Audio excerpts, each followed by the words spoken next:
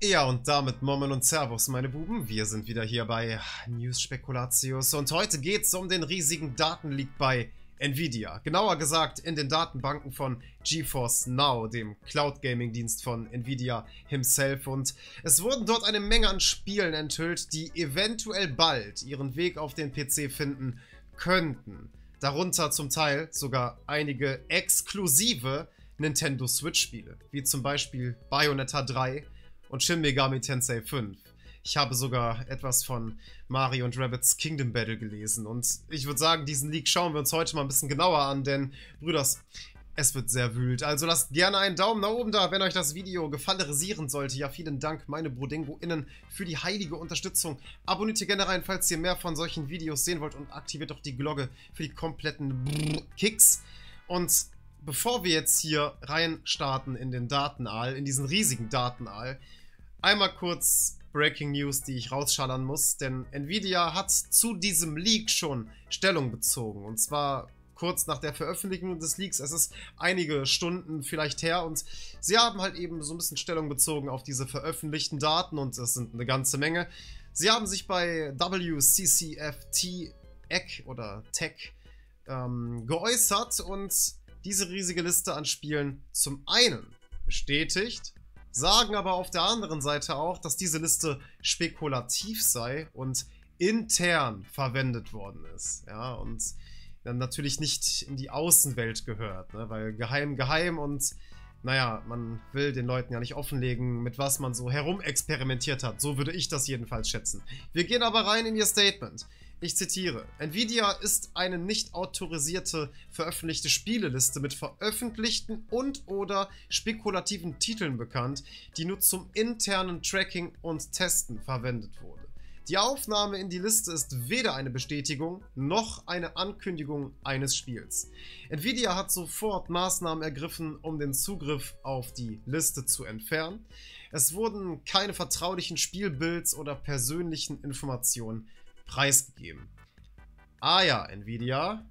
Ah ja, also beschäftigt euch also nebenbei auch mit dem Testen von spekulativen Spielen, die momentan unter anderem exklusiv für Nintendo Switch erhältlich sind oder angekündigt worden sind.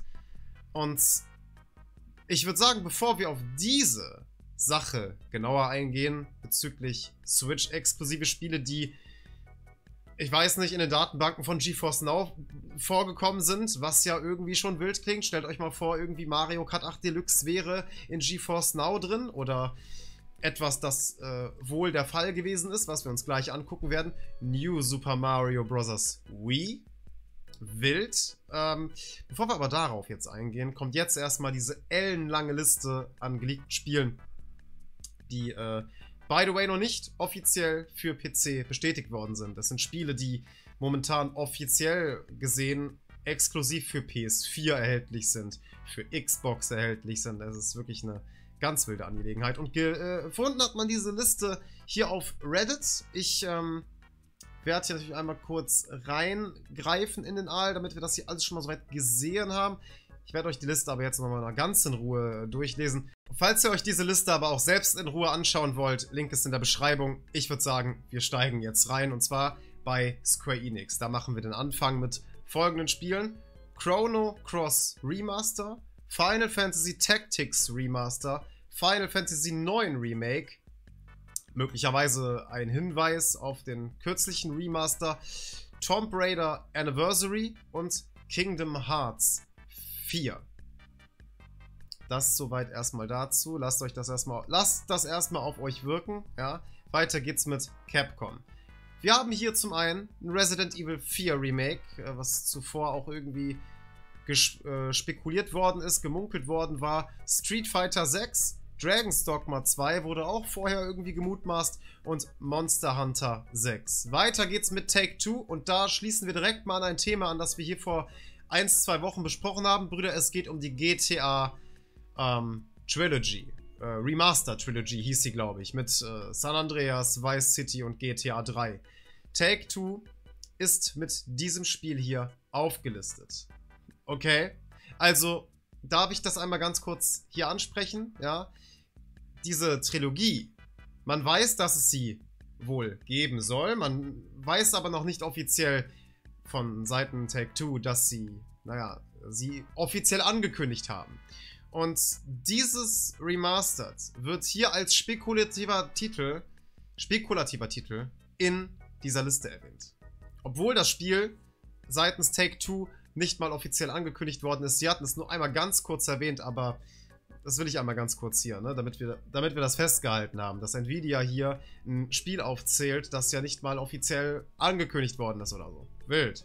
Also wir haben diese GTA Remakes, Remaster, Bioshock RTX Remaster und Bioshock 2022. Nachfolgend übrigens diese RTX Remaster-Liste. Ich meine entweder von also es, es, es gab zwei Leaker bei dieser ganzen Angelegenheit und ich glaube, der ein oder andere von dem hat gesagt, diese RTX Remaster Sache sollte man als Fake betrachten, sollte man jetzt nicht zu ernst nehmen. Ich zähle sie aber trotzdem auf. EA kommt als nächstes mit dem Mirror's Edge RTX Remaster, einem unbetitelten Respawn-Game. Was äh, zum Teufel? Also, ich weiß nicht, ob damit jetzt irgendwie. Äh, Respawn sind doch die Apex-Macher, oder? Oder auch die Titanfall-Macher. Ein unangekündigtes Respawn-Game, also wie es aussieht. Äh, wild. Titanfall 3 wird auch noch erwähnt. Und wir kommen zu Bandai Namco mit Tekken 8. Weiter geht's hinein mit Curve Digital und die haben Human Fall Flat 2 hier in der Liste stehen. Ähm, in Sachen Devolver Digital haben wir The Taylor's Principle 2. Kenne ich nicht. Äh, generell äh, zähle ich hier einige Spiele auf, die ich selbst nicht gespielt habe, aber vielleicht freut sich ja der ein oder andere von euch, wenn diese Namen gedroppt werden. Ja. Wir machen weiter mit Crytek, und zwar Crisis 4. Ja, äh, ist das schon rausgekommen? Ich weiß es nicht, gar keine Ahnung. Wir haben D-Free Publisher Inc. mit Earth Defense Force 6. Also alle, die äh, hier, ne, äh, die es kennen, äh, bitteschön. Wir machen weiter mit Sega. Und jetzt wird's richtig strange. Wie eben schon erwähnt im Intro. Bayonetta 3. Bruder, ein Spiel, das nicht mal offiziell rausgekommen ist und offiziell für Nintendo Switch in Entwicklung ist. Nintendo arbeitet aktiv an diesem Titel mit und ist Geldgeber ähm, ist Publisher. Warum taucht das hier in einer GeForce-Liste auf? Äh, Kicks. Wir machen weiter mit Judgment. Das ist ein weiteres Spiel von Sega und kommen jetzt zu Atlas. Jetzt wird es nochmal mindestens genauso wild. Wir haben zum einen Catherine Full Body und Shin Megami Tensei 5. Ebenfalls noch nicht offiziell rausgekommen, aber offiziell angekündigt für die Switch. Was hat es hier zu suchen? Kann man, kann man mir nie erklären. Aber wir werden es vielleicht gleich noch ein bisschen erklären. Wir werden die Möglichkeiten so ein bisschen durchgehen. Wir machen weiter mit WB, Warner Brothers, was zum Teufel? Batman Arkham Knight RTX Remaster. Trachten wir natürlich als Fake. Verstehen Sie? Klare Sache. Äh, und machen jetzt weiter mit Valve. Und die haben wohl ein Half-Life 2 Remastered in Planung. Oder ich weiß auch, ne? Also diese Liste behandelt Spiele, die bisher noch nicht offiziell angekündigt oder rausgekommen sind. In gewissen Hinsichten. Und, äh, ja, also. Entweder das ist eine komplett utopische Liste oder was auch immer da bei Nvidia durchgerutscht ist. Das letzte Entwicklerstudio ist Paradox und äh, hier steht, ja, dass ihr Project FPS in den GeForce Datenbanken gefunden worden ist. Und es gibt noch einige Spiele mehr, wie zum Beispiel Fable 4 oder Kingdom Hearts 4. Äh, die wurden ebenfalls erwähnt. Wie gesagt, die äh, Reddit-Liste ist auch noch unfassbar viel länger. Und eine Sache muss ich einmal ganz kurz sagen, um uns wieder ein wenig zu erden, ja. Ähm, man muss Nvidia in einer gewissen Weise und Hinsicht irgendwo zustimmen. Wenn man sagt, dass das hier eine spekulative Liste ist. Wobei, das hat Nvidia, glaube ich, nicht ganz gesagt. Sie haben gesagt, da sind spekulative Spiele drin. Aber die Liste ist ja von denen autorisiert worden. Die, die haben gesagt, yo, diese Liste existiert, aber die Spiele sind rein spekulativ, so mäßig. Okay. Okay. Okay, Nvidia. Eine, eine von euch, confirmte Liste, aber die Spiele, damit haben wir nichts zu tun. Aha! So habe ich das verstanden. Keine Ahnung. Also, wie gesagt, diese Liste ist verdammt utopisch. Daher kann ich mir einfach nicht vorstellen, dass alles in dieser Liste echt ist. Und so wie es da steht, auch so passieren wird, ja. Man sollte diese Liste generell mit ein bisschen Vorsicht genießen. Das äh, haben auch zum einen die Determiner Igor Julai und Pavel Dundik gesagt. Ähm, das sind wie gesagt die beiden Leaker, die sich damit so ein bisschen auseinandergesetzt haben. Und man soll die Liste, wie gesagt, mit ein bisschen Vorsicht genießen. Äh, genießen ja? Die GeForce-Liste mit G-Vorsicht genießen. Kicks. Aber back to topic. Back to topic. Ah. Diese Liste könnte natürlich irgendwo gewisse Fälschungen enthalten oder eben mit spekulativen Spielen versehen sein. Das will ich ja auch gar nicht Nvidia absprechen. Natürlich kann es einige Spiele geben, die da wirklich stehen und wirklich sehr spekulativ sind. Und bei einigen ist das ja auch so, wenn wir uns da gerade diverse ähm, Konsolen exklusive Spiele anschauen. Nicht nur bei Nintendo, sondern auch irgendwie bei Sony habe ich Ghost of Tsushima gesehen, das da wohl auch irgendwie so rumkreucht. Ähm, kann natürlich auch sein, dass diese spekulativen Spiele vielleicht irgendwo mal geplant gewesen sind für GeForce Now, aber dann verworfen worden sind und deswegen noch in der Datenbank drin sind. Das kann man ebenfalls als Punkt dagegen ansehen, aber wenn es um gewisse Konsolen exklusive Spiele geht, dann haben die doch eigentlich auch schon im Vornhinein nichts in diesen Datenbanken zu suchen, oder? Wir hatten es ja eben gesehen, Bayonetta 3, Shin Megami Tensei 5. Schon nur gut, dass das spekulative Spieletitel äh, sind, aber was haben die dann generell in dieser Spieleliste verloren? Das ist eben das Komische. Ja, also bei Spielen, bei denen es vornhinein eigentlich gar, kein, gar keinen Bedarf gibt, darüber zu ähm, ja, mutmaßen, dass sie in GeForce reinkommen, warum tauchen sie dann überhaupt in dieser Liste auf? Es ist wirklich sehr weird und ähm, jetzt gerade bei Bayonetta 3 und Shin Megami Tensei 5, diese Spiele, nochmal ganz kurz, sind in exklusiver Entwicklung für die Switch. Nintendo arbeitet mit den Entwicklern Hand in Hand. Dementsprechend, die haben nichts in diesen Datenbanken zu suchen. Wisst ihr, was ich meine? Es sei denn, dass sich zum Beispiel jetzt ähm, in dem Falle bei äh, Atlas oder in dem Falle von äh, Sega oder wer auch immer da nochmal, äh, Platinum Games, genau, Platinum Games, das Ding ist, irgendwann in ein paar Jahren kann der ein oder andere Entwickler sagen, okay, jetzt ist das Spiel ein paar Jahre auf der Switch raus gewesen. Ich würde sagen, jetzt werden wir das mm, in die äh, öffentliche äh, äh, ja, äh, Richtung pumpen und es auf andere Plattformen bringen. Wie zum Beispiel GeForce Now. Das wäre vielleicht in ein paar Jahren mal eine Möglichkeit, wir, wir kennen ja äh, die ganze äh, Geschichte mit Platinum Games und wie sie Bayonetta vor einigen Jahren angefangen haben, auf den PC zu portieren und ne, das war's dann mit der Nintendo-Exklusivität. Aber hier, jetzt in 2021, will ich das noch einmal ganz kurz sagen, diese Spiele haben nichts in den Datenbanken zu suchen. So sehe, so sehe ich das. So, korrigiert mich, wenn ich da falsch liege. Liege ich falsch in dieser Hinsicht? Ich glaube nicht.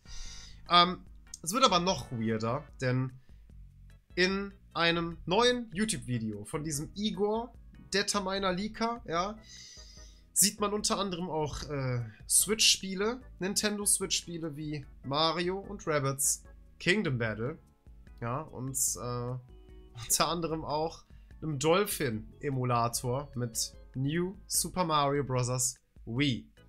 Ich würde sagen, let's go. Wir gehen hinein in diesen wilden Datenbanken Aal. Denn äh, das, äh, muss, das kann man sich eigentlich gar nicht ausdenken. Helldrivers 2. Dolphin. Hat er gerade gesagt. Äh, ne? Dolphin Emulator im GeForce Now Service. Sehen hier Dolphin Team, Dolphin Team. Ist schon ein bisschen weird, aber ich meine, das ist ja noch einigermaßen okay. Es ist ja nur ein Emulator.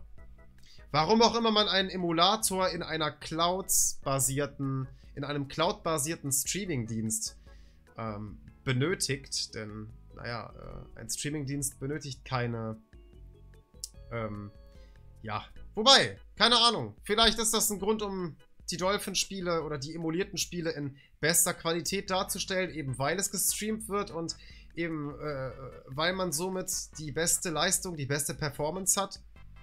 Möglich, aber wenn es mit einem Dolphin anfängt, wird es ja nicht bei einem Dolphin bleiben, oder?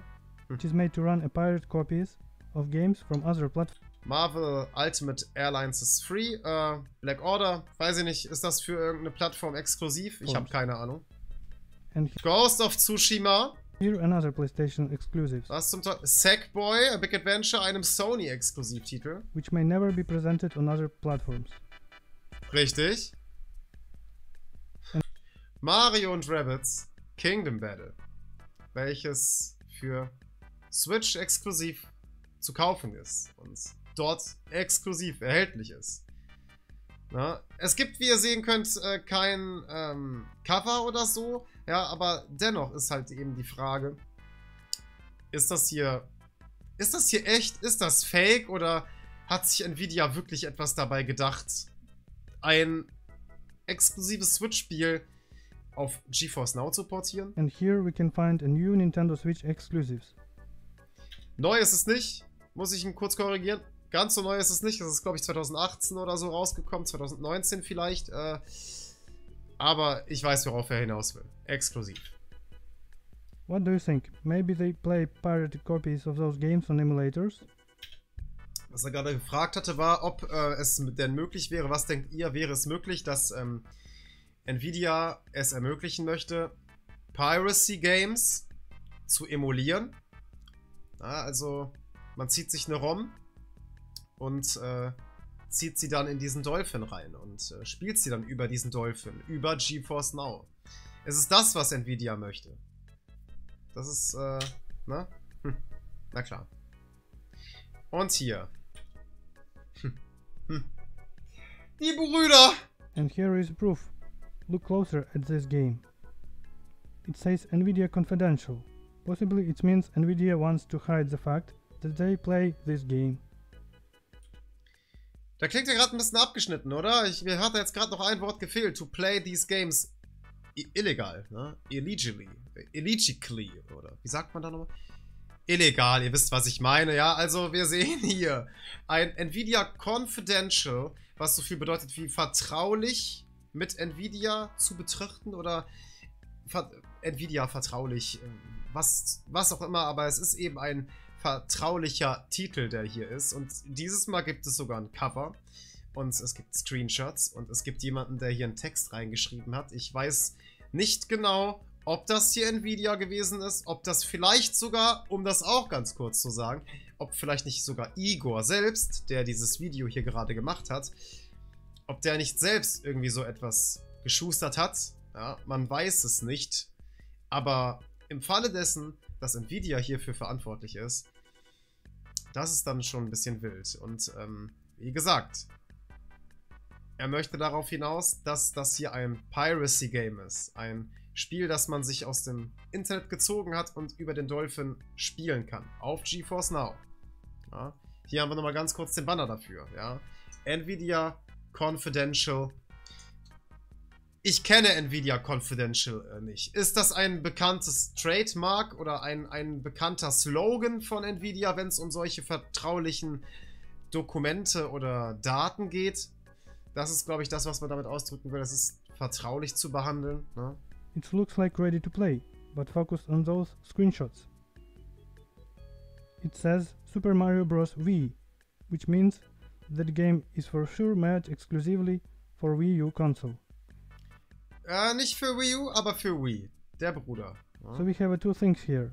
Nvidia added the game Super Mario Bros. Wii to the GeForce Now service, and they added Dolphin Emulator, which is able to launch this game.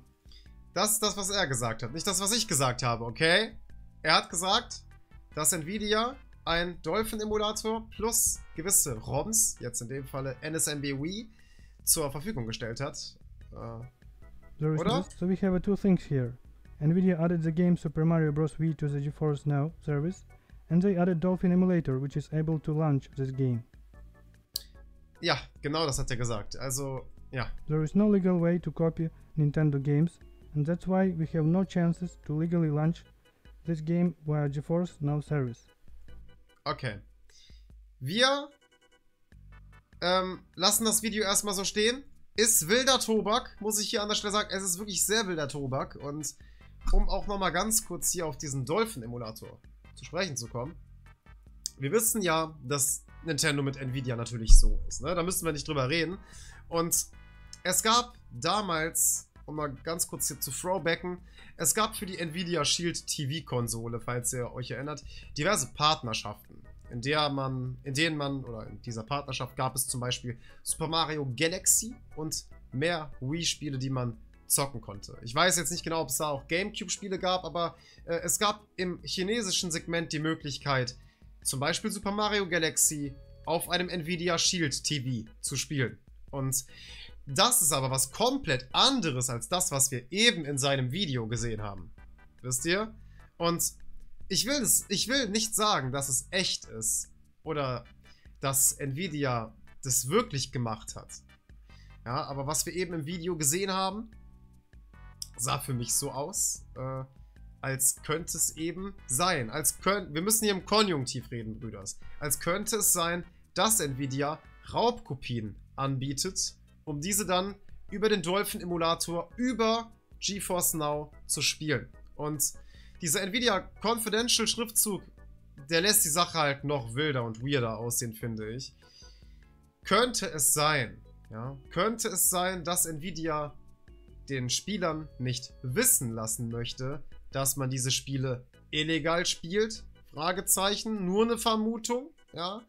Laut Igor, hat, er hat ja eben gesagt, es ist nicht möglich, dass jemand Raubkopien auf Nvidia-Server hochladen kann. Das ist nicht möglich. Und ich weiß nicht, ob er damit sogar recht hat oder ob er vielleicht sogar der gewesen ist, der das hochgeladen hat, um es dann stolz zu präsentieren.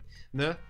Was ich damit nur sagen möchte, ist, dass wenn er sagt, dass das nicht möglich ist, es für Nvidia auf jeden Fall nicht ganz so toll aussieht, oder? Weil ich meine, Nintendo wird das gar nicht gefallen, wenn diese ROMs anbieten, die man über einen Emulator spielen kann. Das will ich damit sagen. Es ist ein sehr wildes Thema, Brüders, deswegen eure Meinung hierzu sehr gerne in die Comments hineinbuttern, bitte. Denkt ihr, das ist echt? Denkt ihr, diese Liste ist echt? Denkt ihr, bei gewissen Spielen könnte sich Nvidia verplappert haben? Oder was denkt ihr steckt dahinter? Denkt ihr, auf Nvidia wartet jetzt äh, die totale Action? Ja, äh, Schellen von allen Seiten, von sämtlichen Publishern und so weiter. Brüder, wenn es dazu irgendwas Neues gibt und je nachdem wie dieses Video ankam, werde ich mich diesem ganzen Thema dann natürlich erneut widmen und ein Update liefern, aber bisher ich weiß nicht, auf wessen Seite ich jetzt gerade stehen soll. Also, Dataminer, die das jetzt rausgefunden haben, stehen für mich eher wie Whistleblower da als für Faker. So sehe ich das. Brüders, bis zum nächsten Mal. Gehabt euch doch wohl und tschüss. Hm.